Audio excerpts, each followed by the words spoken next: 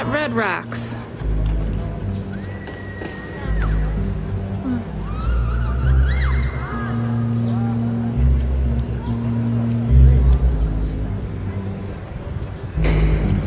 Scott's playing a little song.